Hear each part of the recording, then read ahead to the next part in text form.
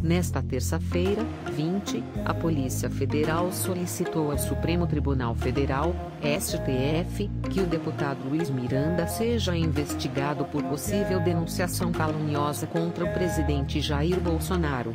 Caso a investigação condene o parlamentar, Miranda pode pegar de 2 a 8 anos de reclusão.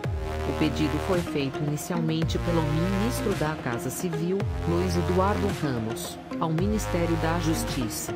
Por sua vez, o ministro da Justiça, Anderson Torres, acatou a solicitação de Ramos e encaminhou ao Supremo. Luiz Miranda acusa Bolsonaro de ter prevaricado no caso Covaxin. Ele e o irmão, o servidor do Ministério da Saúde Luiz Ricardo Miranda, afirmam ter se reunido com Bolsonaro em março deste ano para comunicar supostas irregularidades no contrato de compra de vacinas do laboratório indiano Bharat Biotech, mas que o presidente não tomou nenhuma providência, o que se configura prevaricação. As informações são do portal Play News.